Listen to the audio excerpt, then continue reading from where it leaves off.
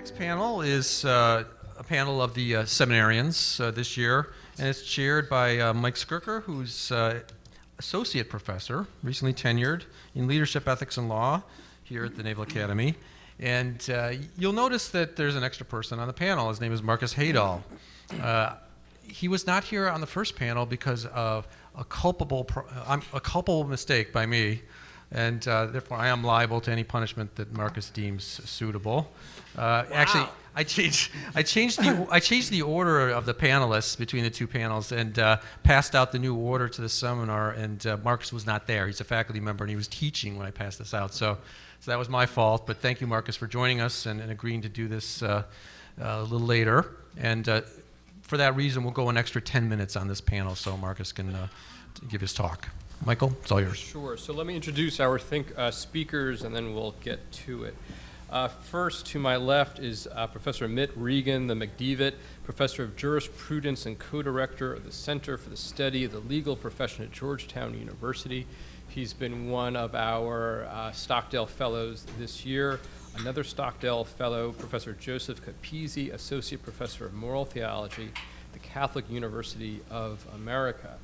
And then Marcus Hedahl, an assistant professor, uh, second year at the Naval Academy. And then Dr. Ashleen um, Makachno Bagnulo, who is a recent PhD from Notre Dame and our junior fellow in the Stockdale Center this year. So we're going to start off with Mitt Regan. We all have 10 minutes. We will be held to that strictly.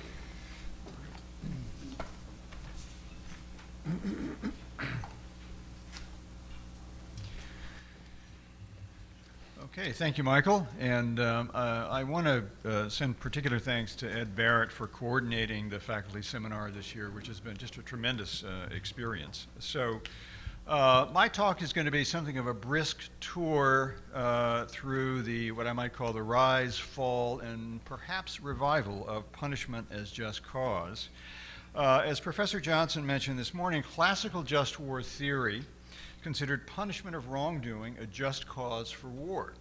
Uh, this idea has been rejected by most modern theorists as well as, uh, in, as by international law, which regards self defense as the only acceptable basis for war. As a practical matter, however, we can identify several uses of force in recent years that are best explained as retaliation intended to punish an aggressor. One example in 1993, in response to the attempted assassination of former President George H.W. Bush by Iraq, the Clinton administration launched 23 missiles at the Iraqi intelligence service two months uh, after the attempt. This was widely, widely regarded as punitive retaliation, but the administration formally characterized it as an exercise of self defense because it could not legally justify it as punishment. How is it that punishment is no longer regarded as just cause? And how do we square this with the persistence of it as a motivation for many uses of force? Well, classical just war theorists were not always precisely clear about what they meant by punishment. Uh, but Vitoria regards uh, someone who inflicts punishment uh, through war as akin to a judge. And if we think of the basic functions of punishment in criminal law, they are uh, deterrence, both of the wrongdoer as well as other potential wrongdoers, retribution, uh, and rehabilitation. Some discussions of punishment in the just war tradition um, uh, describe it as a means of deterring future aggression by teaching the aggressor a lesson about the costs of his actions. Other classical discussions focus on retribution, which inflicts punishment on a wrongdoer who deserves it. Finally, uh, Augustine drew on what we might think of as rehabilitation in including moral correction as among the functions served by punishment. Now, this may have reflected his particular focus on conflicts within the church, but more generally, however, as I'll discuss in a moment, this is consistent with the notion of punishment as inflicted within a common moral order. Theorists presented two different accounts of who had standing to inflict punishment. One group, exemplified by Vitoria and Pufendorf, explicitly limited the right to punish to the party who had been injured by the aggression. Others went beyond this, authorizing any sovereign to punish violations of the natural law that wronged any party. Grotius and Locke were the most notable exponents of this theory. I think we can gain some insight into the demise of punishment as just cause by focusing on its intellectual foundations. First is the idea of a common moral order based on natural law, which imposes universal obligations. While there were more expansive notions of the community constituted by this order, I'll focus here simply on sovereigns as members of a moral community. Punishment as retribution within this context rests on the notion that a wrongdoer who disrupts this order must be punished in order to restore it. Again, Vitoria would grant the right to punish only to the injured sovereign, while Grotius would allow any sovereign to punish on behalf of the community as a whole. Punishment as retribution thus aims to enforce justice between and among sovereigns who are members of this community.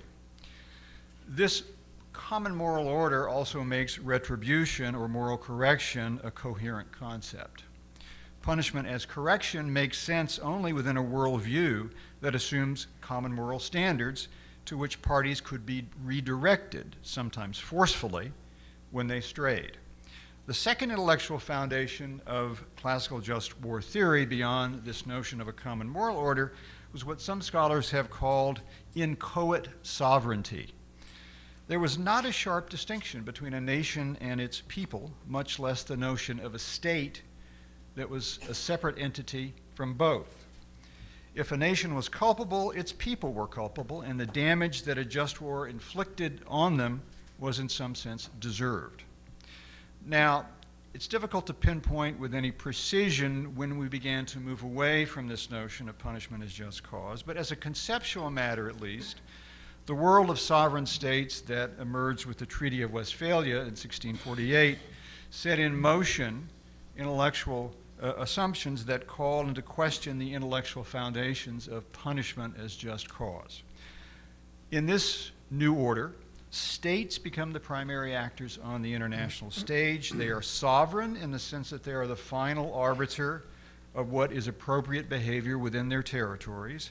They are diverse in what we might call the conceptions of the good that are the basis for their determinations. They stand as equals in the world of nations and cannot uh, stand in judgment of one another.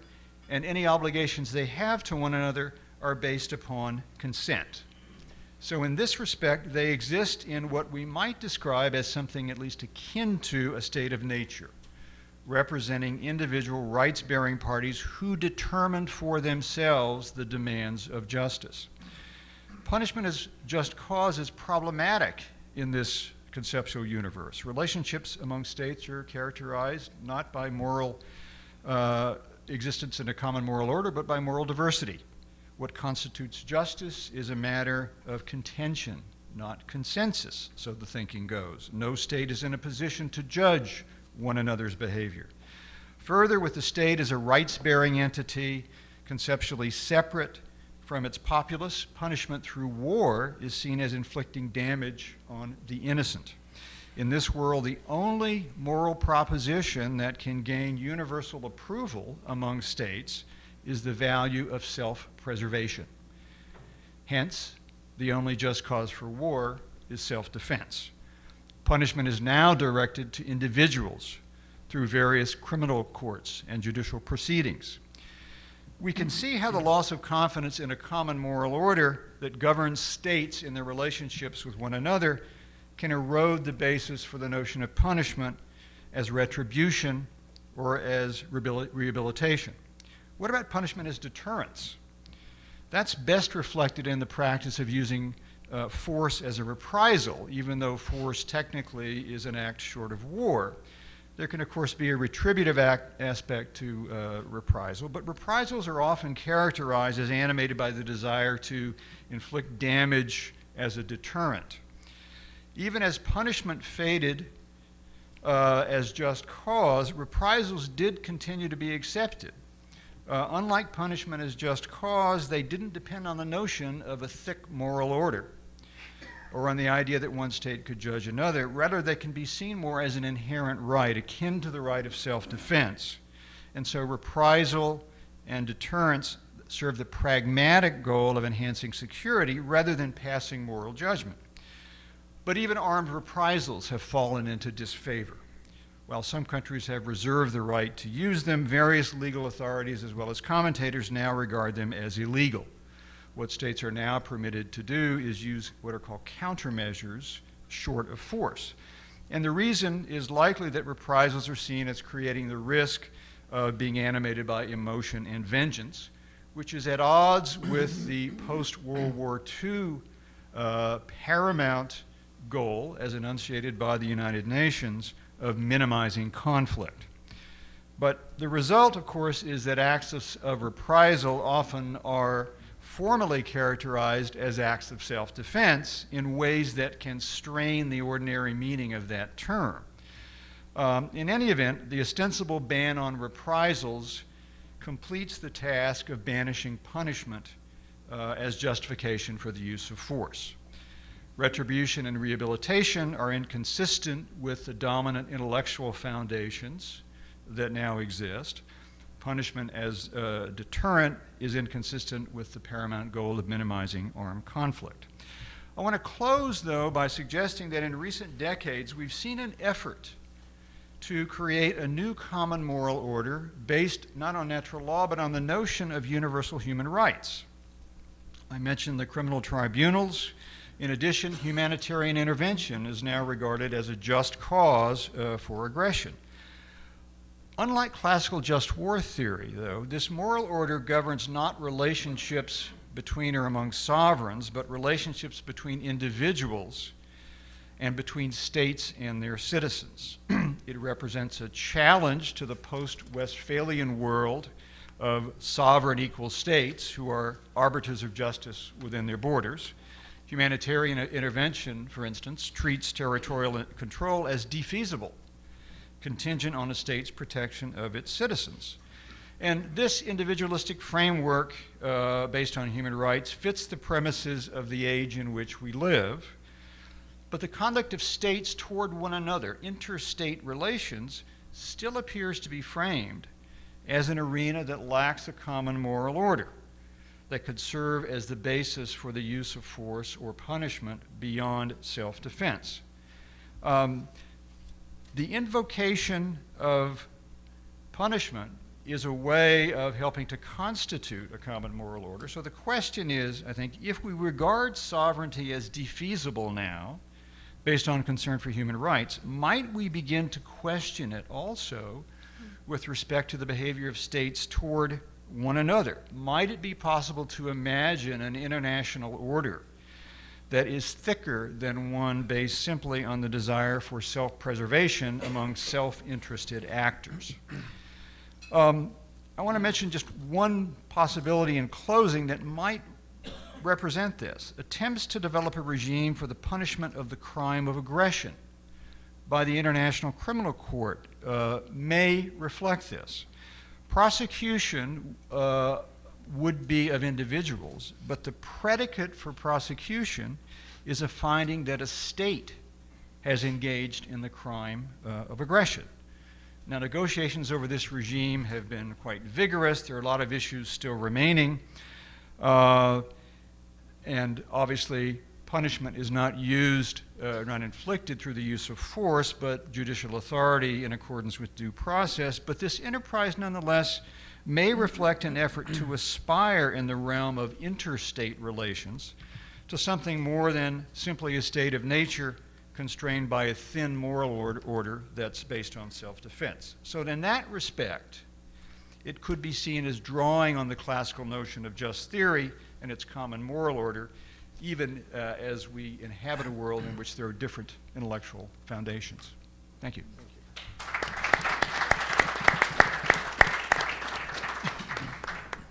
Professor Joe Capizzi.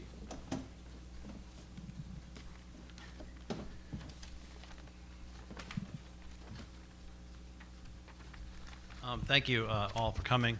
My thanks as well to Ed and to Art Athens um, for having me back. This is actually my second year here, so I appreciate that, um, that privilege um, and appreciate the opportunity to think through these questions with everyone. Um, I think as you'll see, actually, it, it works out kind of well. My, my presentation, I think, actually shares some, uh, some themes in common with what Mitch just presented to you, um, although I, I do it a little bit differently and perhaps a little bit um, treacherously by taking, uh, by engaging the thinking of Professor Johnson, who is here, um, on this question of sovereignty.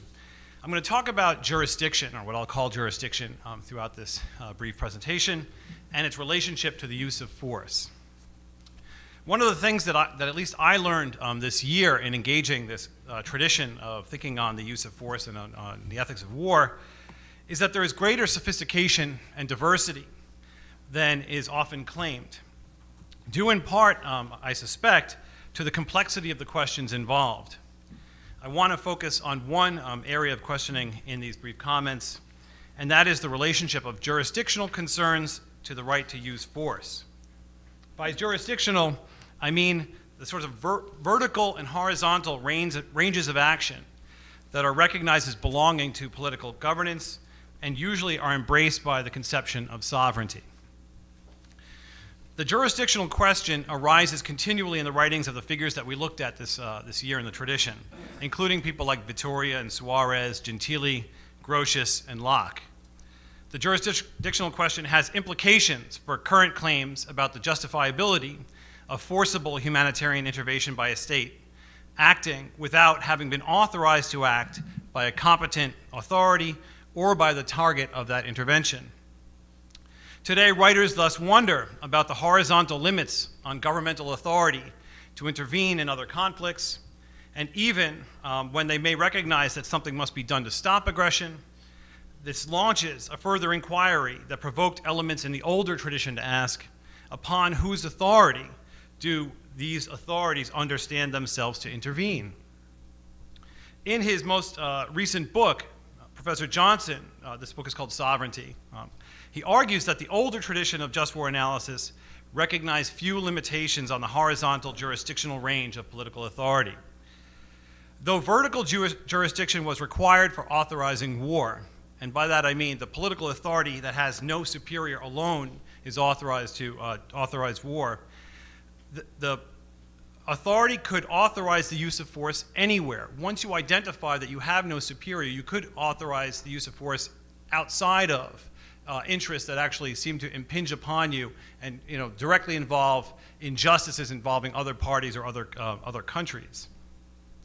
Johnson believes that Thomas Aquinas is among the advocates of this claim. He writes, For Aquinas and for medieval and early modern just war thought as a whole, the sovereign's obligation to punish evil doing, which is not limited in his discussion to internal disturbances with, within his own political community, but extends to externals as well it might justify the use of the sword against tyrannical rulers over other political communities, right? So sovereign political authority could actually intervene against tyrannies that are oppressing other uh, communities.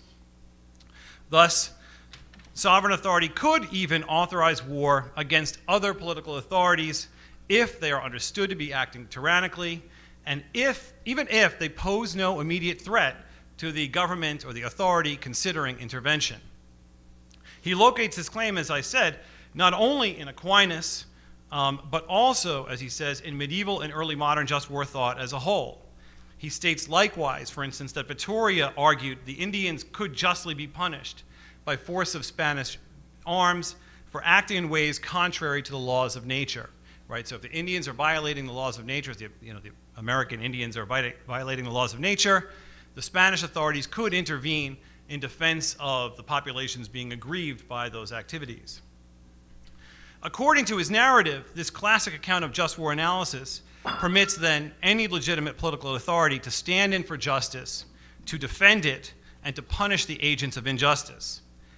He lists the virtues of this classical approach, and they are many. Among them include the subordination of power to concern for the good of community, the vigilant maintenance of justice, and the rectification of injustice.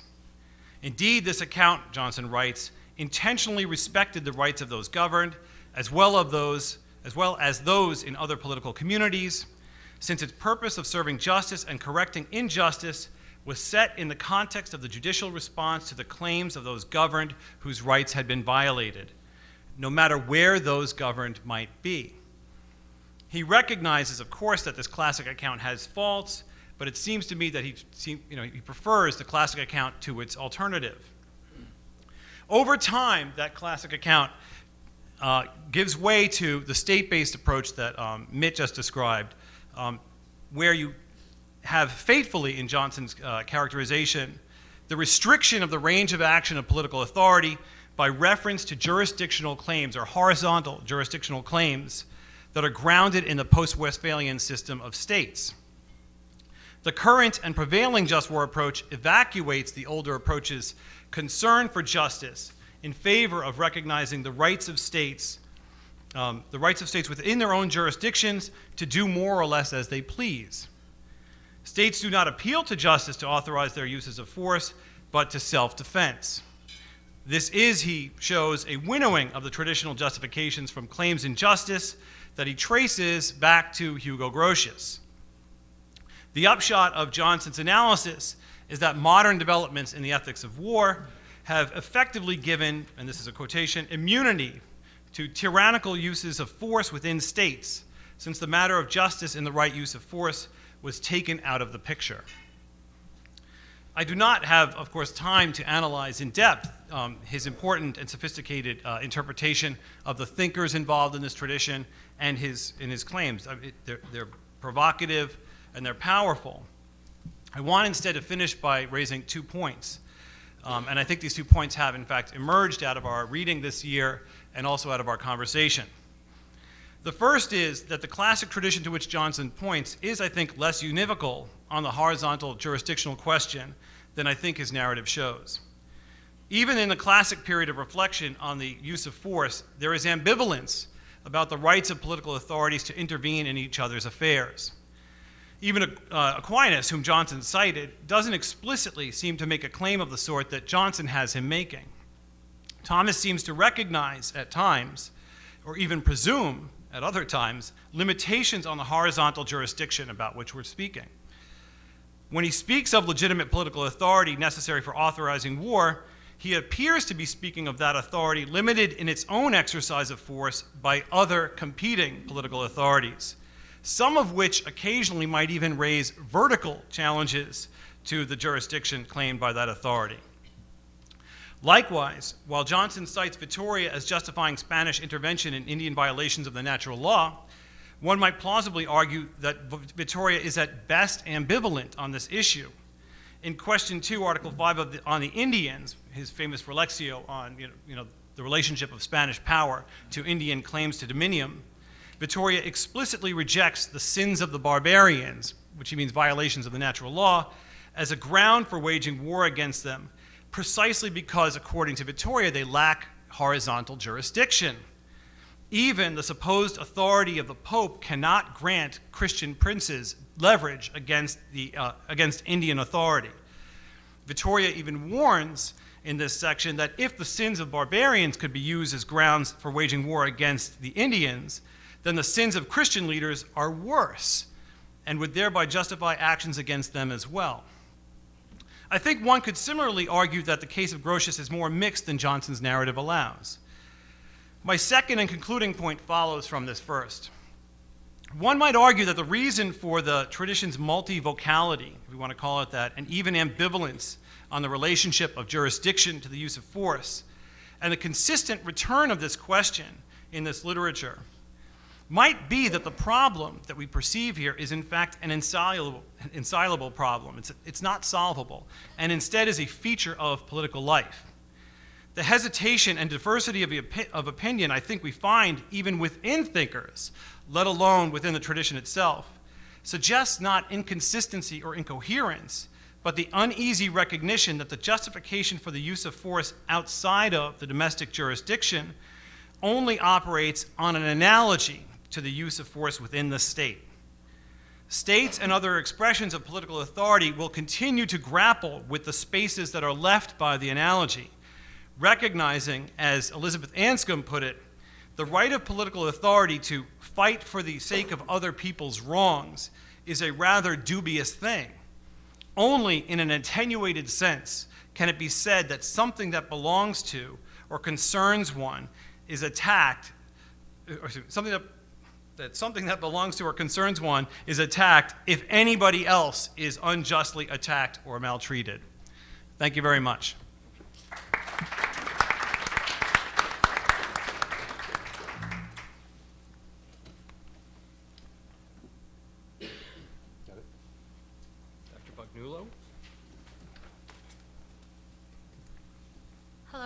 Um, first, I want to say thank you to Colonel Athens for this opportunity. Thank you to Ed Barrett for such a wonderful seminar this year and for the opportunity. Thank you to my colleagues. I've learned so much from you, and to um, everyone who made the funding possible for my position. I'm a young scholar, and so this has been extremely important time for me. Um, I'm talking about the criterion of um, proper authority, legitimate authority in waging war. So uh, this is one of the first criteria to be developed in the just war tradition. It's something that's come up a lot today. I want to reflect on the reasons for its centrality, some of which we've spoken of earlier. Um, to do this, I want to take us through important ancient and uh, medieval insights into just war theory generally, concluding with three contemporary questions regarding proper authority today. Um, on its face, the tradition's insistence on right authority seems intuitive, and even more than that, it seems uncomplicated. Political authorities making war, that's a commonplace of human history. Men and women relied on one person to lead their wars as a practical matter, and in many ways, early rulership was closely and almost essentially related to the ability to defend one's people. Machiavelli talks about this in his discourses on Livy, um, but Locke expresses it pretty well when he says of the earliest societies, it was natural for men to put themselves under a frame of government, which might best serve to that end of their preservation, and choose the wisest and bravest man to conduct them in their wars and in this chiefly be their rulers. But the philosophical and historical relationship between war making and legitimate authority is more than one of expedience and practical necessity. The connections between legitimate authority and warfare have always reflected some of our deepest sensibilities about an important political concept that we've spent a lot of time talking about today the concept of political sovereignty. Um, particularly in my talk, I want to focus on sources of sovereignty and changing understandings of those sources. Um, the earliest accounts we have concerning proper authority in warfare concern the relationship between the divine and the person selected to rule commonwealth. For example, some of the earliest accounts of Roman warfare focus on the relationship between legitimate authority and divine sanction. Those the Romans sought to best in warfare were sent to ritualize sacred declaration from messengers who represented the authority of the king. The performance of the ritual was meant to communicate the power of the king and to show the relationship between his power and the sacred. Cicero's understanding of the common good as the aim of legitimate authority also meant that for Cicero, Roman warfare was supposed to be conducted with an eye toward what was best for Rome, and the guiding of Rome toward its good was something that mattered for the eternal soul of the ruler, and this is something that Cicero talks about in his Republic. In the medieval period, the just war theory heavyweight Aquinas reveals to us one important aspect of conceptions of sovereignty related to the divine. While it is true that all earthly power comes from God, in the words of Aquinas, a good ruler serves as a vice regent of the people, someone in whom the governed have vested their interest. The sovereignty of the king could be understood, therefore, as something that related uh, existed in relation to his duty to serve as an advocate for the interest of the people. And, and God had given them these, given these people to him for the safeguarding. However, even though I want to emphasize the earliest accounts of sovereignty's relationship to divinity, practical considerations still applied when it came to the importance of legitimate authority in warfare. One reason the Roman king's powers expressed in the messengers he sent mattered so much was because a benefit of relying on legitimate political authority was the clear communication of the threat of warfare, as well as the offering of an opportunity to escape that threat by appeasing what the Romans wanted.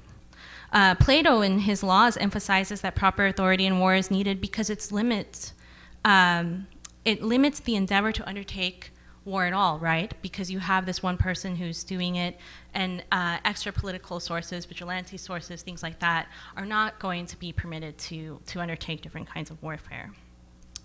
Um, Raymond Peñafort also focuses on the practical usefulness of a centralized authority in war making. And Suarez tells us that if the ability to declare war is concentrated in a ruler, it ensures that the capacity to make war is subject to the rigor of public counsel and is tempered by the reasoning of several wise voices um, Augustine, a thinker who's close to the ancient Romans, he helps to set the stage for medieval inquiry into war. And he also focuses on the usefulness of legitimate authority. But he emphasizes again the moral status of uh, people engaged in war, and, and this brings up another spiritual component. He says in the Questions on the Heptateuch that it is legitimate for men to engage in the practice of ambushes in a just war because, quote, in these matters, the only thing a righteous man has to worry about is that the just war is waged by someone who has the right to do so, because not all men have that right. Augustine, like later thinkers, will interpret the biblical statement that those who take the sword will die by the sword to mean that those who take up arms without authority will find themselves penalized for this aggression with death. So here again, we see the relationship between the divine and early and medieval accounts of legitimate authority. A part of safeguarding the interests of the people one rules is knowing what you could ask of them spiritually.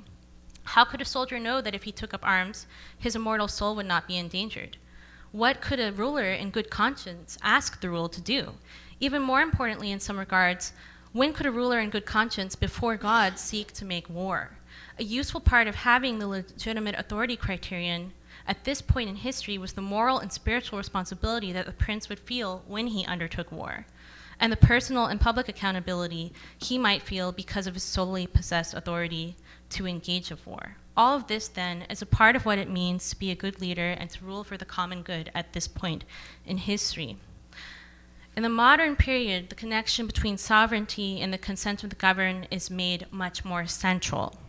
Social contract thinkers like Locke, Hobbes, and Rousseau emphasize the need for consent as the central part of the origins of political community, and they also focused on the obligation that the sovereign had to the people as one endowed with their vested consent, and this will affect their theories of warfare. Uh, though in each of these accounts the character of the sovereign differs tremendously, in terms of international relations, the sovereign in war was to act as an authorized representative of his citizens on the world stage. So, this early modern conception of sovereignty has set the stage for the current understanding of legitimate authority in war. The accountability of the sovereign in war making comes from the people he or she rules, who can make their pleasure or displeasure known to him or her through institutionalized political channels. So, today we see variations on the question of legitimate authority based on this modern understanding of sovereignty. Americans sometimes express discontent with presidential authorization for war, given the constitutional insistence on congressional declarations of warfare. So, this would be one example of how having um, the powers invested in the US government by its people, they're divided, right? But then there's debate about who represents the most legitimate form of taking this authority to be able to go to war. Recent scholarship has also focused on questions of supranational power. What does that mean for sovereignty? What does legitimate authority look like in the face of international coalitions and in the face of entities like the UN? And another, um, another way that we're having to think through concepts of sovereignty now is when we think about the question of legitimate authority in terrorism. How can actors without a state have recourse to war when their authority is by definition illegitimate in the classical sense? There's a lot of new work that is, is being done on this for this concept. So questions like these show that the matter of legitimate authority, while sometimes seen as maybe the least complex, though still important, of the just war criterion, uh, is, is becoming increasingly important for today's warfare as we sort through um, how we would apply these kind of questions and um, when we seek to go to war. So that would be.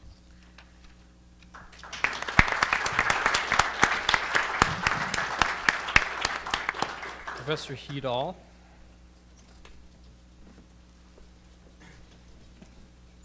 Thanks. Uh, I want to I want to thank my fellow panelists for being flexible. I'm sure it's a, an appreciation not shared by the midshipmen in my class this morning, but nonetheless, I am grateful that, uh, that you've been flexible. I also want to thank Ed for hosting the conference, putting it together, and um, letting me punish him in any way I want.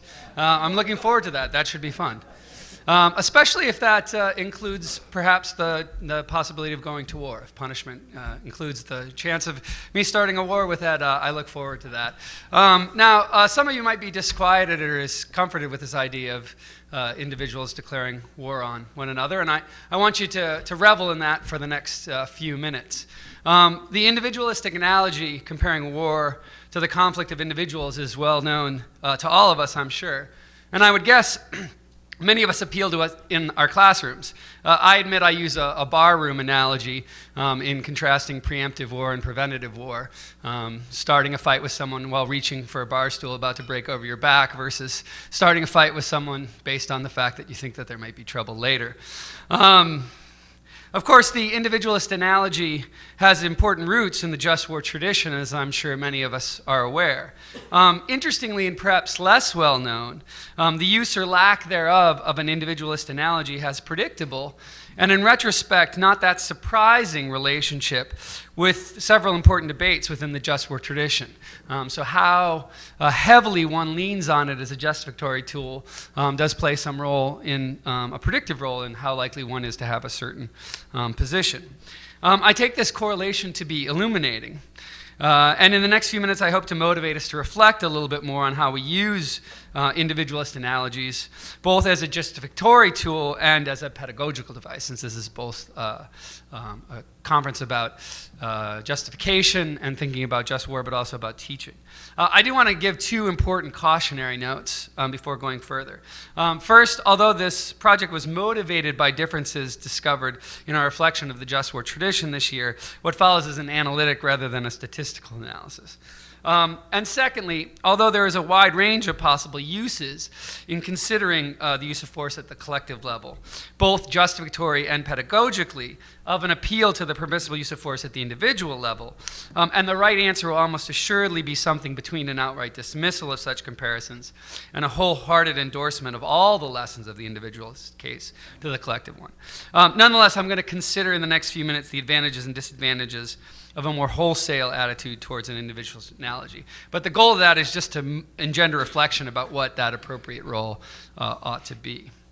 So, with those caveats noted uh, and time constraints on my mind, let me, I'm just going to consider two advantages and two disadvantages. Um, so, one advantage uh, seen throughout the tradition, but particularly in the late medieval period, the individualist analogy simplifies a complex problem, and it does so by capturing a too often uh, under considered moral element, and that's the importance of reciprocity in moral relationships. Um, closely related, it nicely captures the idea that unfortunately at times force must be met with force. Um, the second advantage you see more frequently in recent theories. Um, the individualist analogy can also capture the intuitive idea that many of us have, I think, that killing is killing. And the moral bar is and ought to be high to either justify it or excuse it, whether it is done by each of us on our own or all of us together under the cover of de- decorative fabrics fluttering overhead. Um, so, those seem to be useful advantages, but I think there, I have two concerns as well with an overuse of an individualist analogy. I actually have a few more, but limited to two. Um, all right, so first, it radically alters, and, and I think you see this uh, through the history of the tradition, the, the uh, Augustinian justification for war. So the individualist analogy, by reducing warring states to individuals, makes the reason for war defense of self. And you know, sometimes others if you're feeling magnanimous, but mostly oneself and one's own. Um, as all of us are well aware, this is a departure from the more traditional Augustinian tradition of killing in defense of others and others alone. Um, tied to this, and, and I want to make clear this is theoretically distinct, but I think it's an important pedagogical lesson here. We shouldn't be surprised when our students sometimes balk at the claim that the nobility of the profession sometimes requires combatants to lay down their lives for the non combatants of the country at which we are at war. When we appeal to a defense of one and one's own rather than a defense of others as the primary justification for war in the first place. All right, um, second, reliance on an uh, over reliance on an individualist analogy, I think, can lead to problematic short shiftings of jus post bellum concerns and the relationship between jus ad bellum and jus in bello. Um, for taking the warring parties to be equivalent to individual belligerents, we too often lose sight of the important questions raised by the complex moral interactions between those individual members that comprise the warring parties. Members who often fail to share fully in the guilt or nobility of the collectives of which they are a part. Um, so, let me just conclude um, these brief remarks by saying that, uh, by highlighting again my missionary cautionary note. Um, an exorcism of the individualist analogy from our justificatory and pedagogical tool bag would surely be too excessive, but I think it would be well served to recognize that at times at least it can be a crude justificatory and pedagogical, or pedagogical instrument, excuse me, um, one that I think we ought to use sparingly and with care. Thank you very much.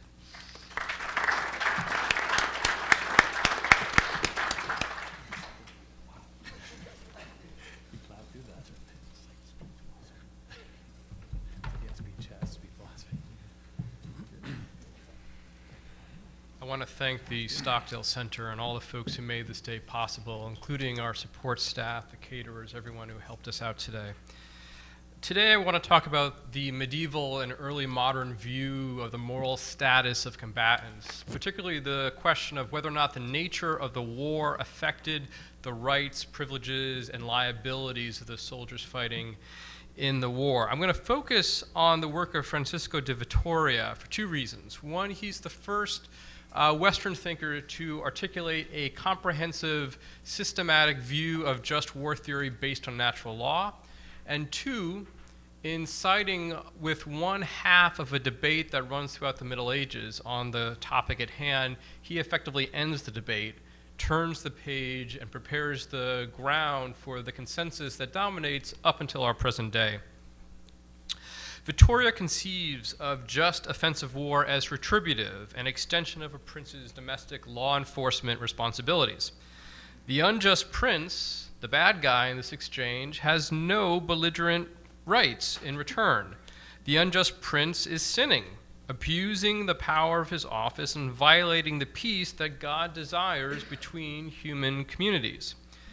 Now, if the prince who knowingly leads his troops on an unjust mission is doing something culpably unjust, what about his troops? The picture is complex, as Vitoria shows us. Initially, Vitoria seems to speak of the prince's soldiers as accomplices who share in the guilt of the prince inasmuch as they are helping him do an unjust action.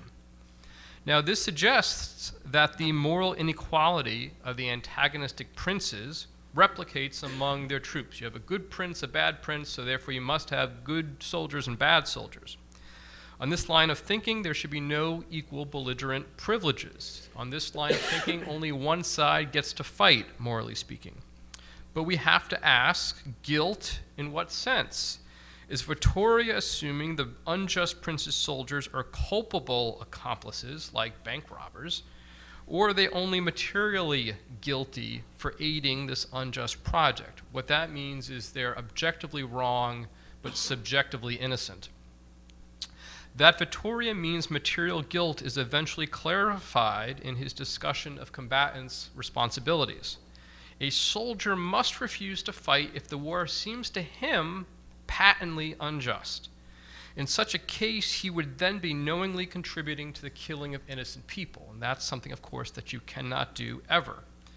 However, despite these high stakes, Vitoria curiously says and famously says the soldier is not required to investigate the justice of the war, deferring to his prince's judgment.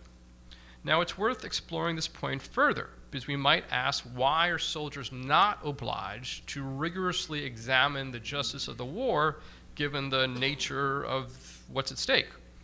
Vitoria argues that commoners cannot be efficiently informed of deliberations about a pending war.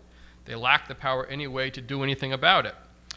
Failure to obey could endanger the Commonwealth, and finally, that insubordination raises other problems unto itself. Now, each of these points could and have been contested, particularly by modern authors. Vitoria's blitheness regarding soldiers' duties is better understood if we wrap our heads around his take on the default obligation of obedience. The Augustinian notion of justice, these scholastics, like Vitoria, absorb, is that of a political order in which the different stations of society and different households are harmoniously and rightly ordered. A soldier's obeying his prince is the way in which a soldier can contribute to this social harmony. Since justice also entails harmony between political entities, a patently unjust war set on creating a non harmonious peace of domination, this clearly wouldn't serve justice. And so justice would not be served by the soldier obeying in this kind of unjust war. Vitoria and many other theologians are clear that the soldier's knowledge is the pivot point determining whether he should adhere to his normal obligation of obedience or not. Clear knowledge of the injustice of war trumps his obligation of obedience and implicates the soldier in the unjust collective project. It's no longer, in this case, a virtue to obey, since all virtues are, in the Thomistic formulation, dispositions to obey reason promptly. And it's obviously not rational to perpetrate wide scale injustice. So, again, Vitoria speaks of, when he speaks of the guilt of soldiers on the unjust side, acknowledging an incipient asymmetry between soldiers, he must mean material guilt. This follows since most of the time, most soldiers will be behaving permissibly, non culpably, when fighting in a plausibly just war. That's soldiers on both sides. Vitoria states clearly that in a war where there's an objective asymmetry, between just and unjust sides, it is also possible for both sides to be just in the sense that one side is objectively just and the other side is invincibly ignorant of the injustice of their cause. They can't be blamed. In such a condition, the unjust side soldiers are not culpable. Meanwhile, they are doing something they should be doing, which is obeying their prince in a plausibly just war. Material guilt entails the just princes ordering enemy troops targeting, but after the war, once the material threat is neutralized and a more objective assessment of culpability is possible, enemy soldiers should not be punished. In a further aspect of equality between the two sides, each side is equally sinless before God so long as they serve in cases of plausible justice and they avoid the personal vices of bloodlust or malice and so on. Now, there's a final sense in which combatants on either sides of a conflict are unequal, and this is pointed out by our colleague Gregory Reichberg. While acting permissibly, the invincibly ignorant soldier on the unjust side is not performing a virtuous action. He's acting permissibly but not virtuously. He's not performing a just act, not performing a courageous act, because only actions that objectively contribute to the good are candidates for being virtuous actions. So this is strange. He's acting permissibly, but he doesn't get extra special credit for being virtuous. So, having clarified the moral status of soldiers on the unjust side, we have to now talk about what they're permitted to do. Materially guilty soldiers on the unjust side are targetable, but they're not liable to violence in the modern sense of the term of liability, in the sense of not being permitted to defend themselves. In most cases, both sides' soldiers are objectively permitted to fight. Soldiers on the unjust side are behaving properly in serving their prince in a plausibly just war. On an objective level, these soldiers are acting unjustly but they're behaving properly in response to action guiding norms. Now, this confusing duality is resolved if we recall that scholastic morality is agent centered. Works of moral theology were used to teach priests to administer the sacrament of reconciliation. So, questions of the agent's subjective knowledge and intention had to be asked in order to assess the gravity of his sin and the measure of his penance. This applies to both princes and to soldiers. So, princes are called on to fight in only just wars in the context of discharging their royal duties. They're counseled to only launch wars if they're certain of the justice of their cause. Soldiers are similarly counseled to make the best decision available to them, which in their station in life usually means obeying their princes.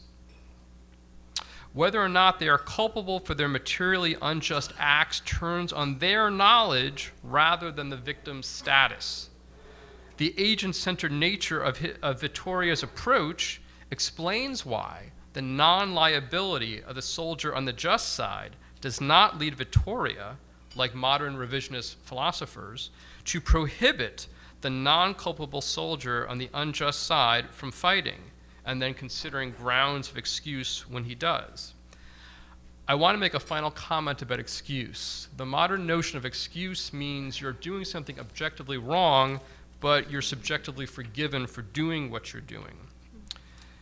The soldier fighting in an unjust war that seemed just is not like a civilian who joins a mob and lynches an apparently guilty but actually innocent man. The civilian shouldn't be killing this innocent man and shouldn't be participating in a mob at all. By contrast, it does not seem right to say the soldier makes a mistake by serving in an unjust war because his profession inherently involves risks and uncertainty and the necessity of making decisions with little information. Like a judge, we can say the soldier is doing the right thing when he acts in good faith and makes the best professional decision available to him, even in a moment when he's doing something that's objectively wrong. I do not think we are inclined to say judges should be excused when they condemn innocent people on occasions when the evidence points overwhelmingly to that suspect's guilt. Rather, we praise them for properly following their institutional procedures. So, in closing, unlike typical excusal cases, people should imitate judges who convict defendants implicated by the evidence, and should, Vitoria argues, imitate soldiers who follow their sovereigns into all but obviously unjust wars. Thank you.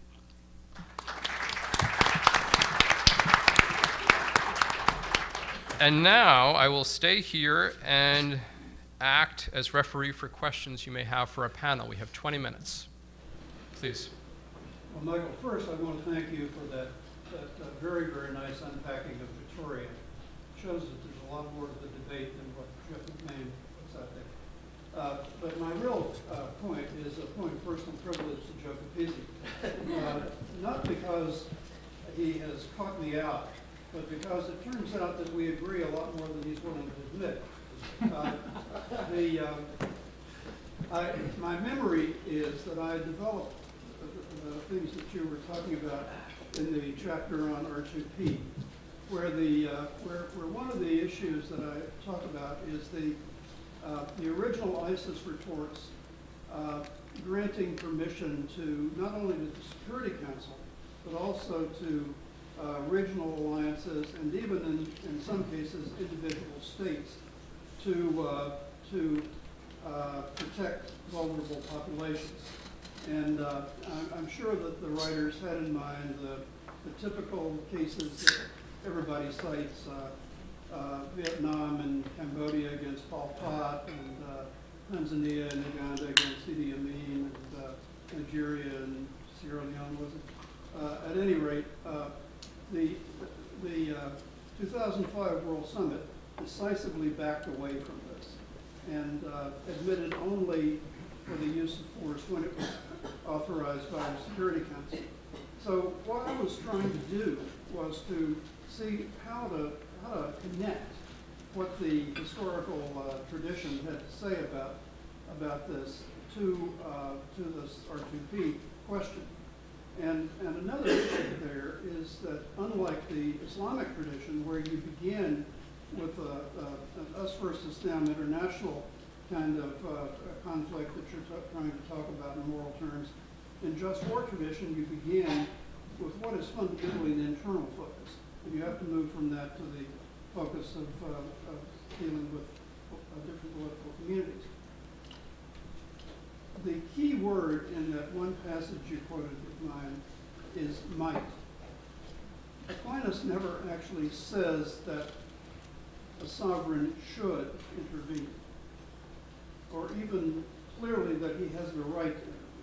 He's, he's very cautious about that. Uh, and, and the reason he's cautious about that is that he doesn't want usurpation and he doesn't want, uh, uh, action that might be, uh, itself case of tyranny. And he doesn't want support for sedition, which is after all a moral sin.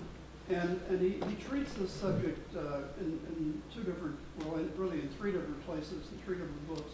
And he treats it somewhat differently and, and very sketchily in each one of them. So one has to make a judgment where all this goes. And I made my judgment, okay? Uh, uh, Others may disagree with it, but it, uh, it seems to me to be a reasonable judgment based on what Aquinas was arguing. But his, his preference when uh, encountering tyranny and, and uh, uh, protection of vulnerable populations comes to mind here. He says in one place that if the tyranny isn't too bad, it's better just to put up with it. But then the, the next thing is, if it turns out that it really is too bad, then uh, others in higher positions of authority within the society ought to take the lead in, in trying to depose the tyrant. And in that connection, uh, another sovereign can, can be brought in and decide to help out. So uh, I think that there are some very real constraints on, on uh, sovereigns just uh, willfully, willy-nilly uh, acting to uh, shape up their neighbors. And, uh, and yet, the, the- you know, it, it- it's still basically the same kind of question you have in the R2P debate between the original ICISS report and the 2005 World Summit outcome. um, what to say except I'm honored uh, to know that I agree with Jim Johnson more than I disagree with him, apparently. Um, uh, yeah, I mean, that, that, that all makes sense to me. Um, I I think even what you said with, even with regard to Thomas, shows that even within these thinkers, there's a recognition of, um, you know, what we might call a tension or something between like de facto political authority and, and you know, de jure or moral authority. And, and I guess what I was, uh, the, the small points I was trying to make is that there is this diversity of opinion, even within some of these thinkers. That, that tension gets played out in different directions by different of these guys at different times. And even the, what, you, what you call the classic tradition itself seems to have those differences of opinion as well. Um, so wh- what I'm suggesting, and here's the, the prospective stuff, the, you know, the, the, the stuff for both of us to continue thinking about is this may be unresolvable. You know, even the R2P, 2P question may be unresolvable. It just may be that kind of tension that we have to experience um, in, in politics. And the ongoing effort of politics is just to try to figure out who here and now has authority rather than a priori make these kinds of judgments. Um, but, uh, you know, I'm, I'm open to that being wrong as well. Other questions?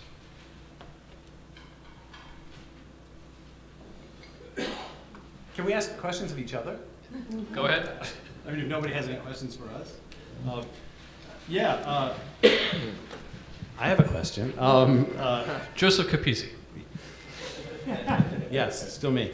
Um, I, I have a question for you, Michael.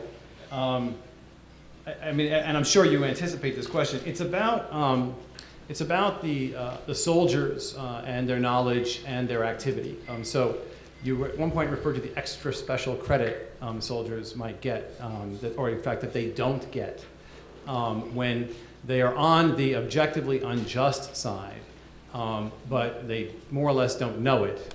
Um, so they can act permissibly in this circumstance, but they don't get like virtue.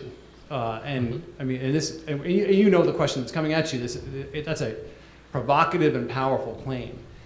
Um, uh, very often in war, uh, the the justice of the causes is, is you know, it's a close call, right? Um, these are not Yeah. Often black and white calls. So are we really prepared to say that a soldier who fights in a situation where you know the you know the is tilted in the direction of the other guy is not actually acting courageously? So, you know, we've discussed this before about the unity of the virtues, and Aristotle's famous claim is that you can only really be behaving virtuously if you're contributing to the good, if you're contributing, if you're doing things that are objectively correct. And so, a bank robber who rappels down eight floors and fights off many guards with no regard for his own safety isn't really courageous because he's not acting towards the good.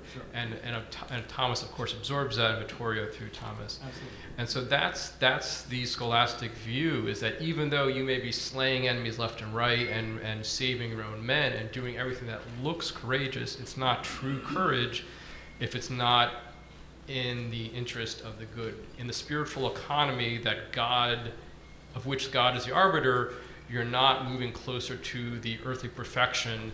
You're not making God's job easier, perfecting you through grace. Um, and so, from a secular point of view, a modern point of view, I think most of us are comfortable saying that there could be courageous Nazi soldiers, even though it hurts our mouths a little bit to say it. You know, in, in the more casual sense we use courage, I think you and I are more comfortable saying, sure. Would your, would your answer be different with respect to soldiers on the unjust side who make extraordinary efforts to save civilians, for instance? So isn't that interesting? So, in the context of an unjust war, if you do something that's clearly just, like saving civilians, you'd think that would be virtuous on the Thomistic notion. Now I see uh, Dr. Reichberg has his hand up.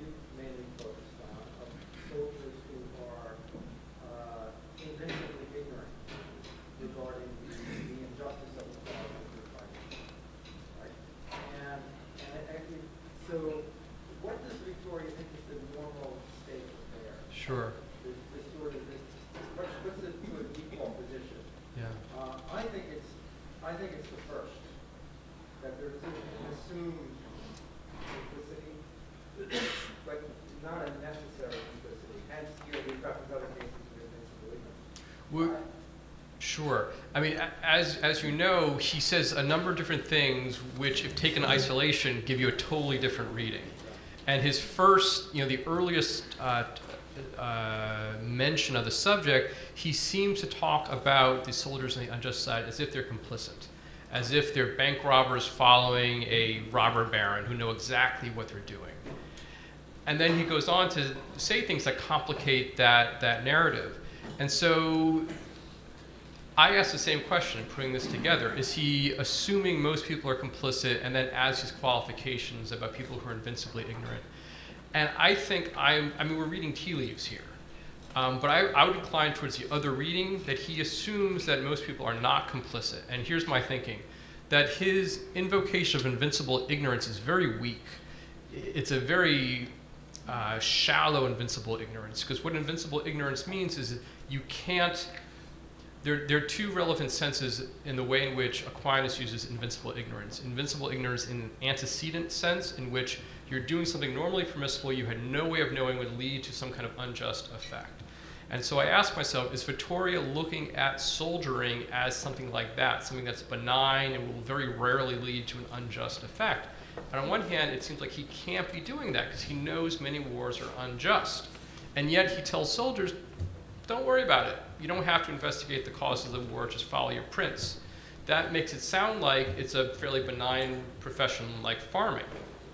So I think why he's doing that is, or why he's led to do that and present soldiering in that kind of way, is because if you're a pious medieval person and you think this is a morally hazardous profession that, that endangers your soul more times out of not, why in the world would I enter soldiering? I'd rather be a farmer and keep my nose clean.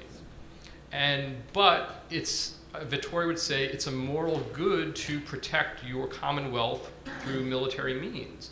And so soldiering has to be presented as a permissible, viable profession.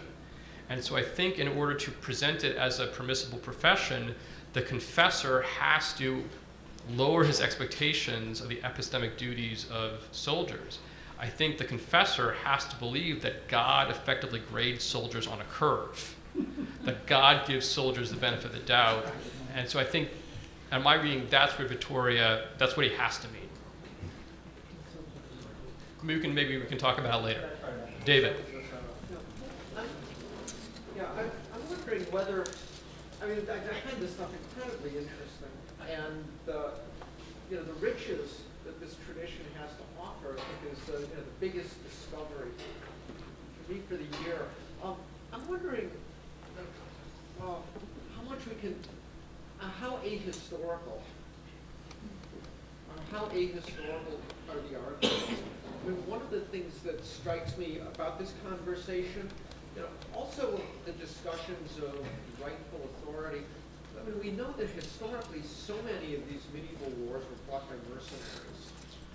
Um, you know, we know that the, the, the reason that the Vatican has Swiss guards now is that uh, before they discovered chocolate banking and clocks, uh, the Swiss were impoverished people who sent all their young men off with with pikes to be to do stuff for pay. So when the, when these thinkers are writing about rightful authority, when they're writing about you know follow your prince, well your prince is the guy who hired you, or your prince is some local prince who got hired by a bigger prince, and you're just following this guy because he was hired. I mean, this, this is this is you know, it- I mean, to me, this is a big question because, of course, right now, private military contractors are a big issue, and that seems to be in many ways the counterpart to the, the mercenaries of the medieval period. But it, it does make me wonder,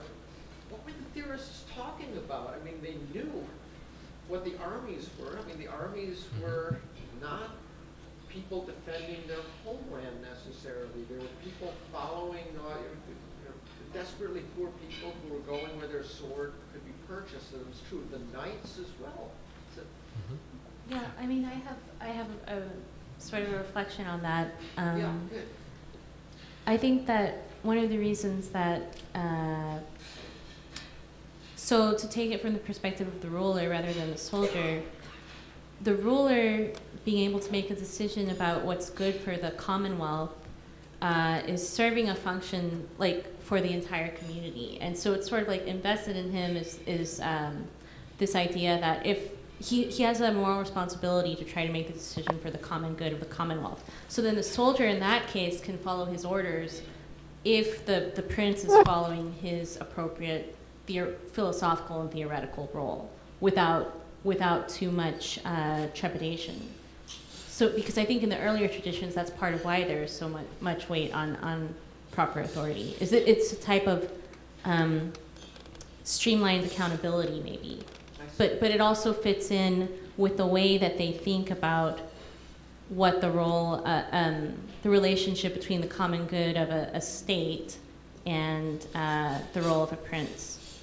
So if you have someone like, like a soldier, like you're talking about, I, do, I think they do know the desperate circumstances and the mercenary circumstances, but that the focus is on, I don't know, in earlier traditions on, on moral responsibility and, and the prince plays an important role that allows other people to wash their hands. I don't know. Can I take, can I And take the- a quick crack at Yep, that? sure, and then we have to end. Yeah, real quick. Um, I love that question too, um, and, and it, it, it's actually like, in a way, it's almost a version of the question that often gets put to people like us when we write about war. You know, like they may be a- ahistorical, but we're a experiential, right? So you know, how dare I speak about what you know soldiers go through or what you know what, what soldiers are thinking, right? So there's a kind of there's a there's a version of that question that you know is as easily put to I think us as academics who think about these kinds of things. Um, but just a real quick response, and maybe Greg would differ with me on this position, but this when I studied Aquinas on slavery, or like you know um, the issue of slavery in medieval thinking, uh, that same kind of issue arises. What do these guys know about slavery? What were they talking about when they talk about slavery? And there's a position of thinking that you know just thinks they're just dealing with ahistorical categories, you know, and, they- and they're just working through categories and cashing them out. I was never moved by that. Um, it seemed to me that it was, on one hand, kind of presumptuous in favor of us. You know that we, you know, we moderns have, you know, better historical senses of things. But it also, it wasn't really defended. I mean, it, it, a lot of these guys, like including Thomas, lived in places where slaves were traded. You know, lived in, you know, grew up in places where slaves were traded. I think we should assume that these guys, um, and certainly Vitoria, right, but I think Thomas as well had also, you know, some historical sensibilities about these questions that are in, in uh, probably blind in the ways that uh, we're blind um, and informed in at least some of the ways that we're informed and maybe some others as well. We are out of time. We can continue this conversation during the break, but let's uh, give a hand to our panel.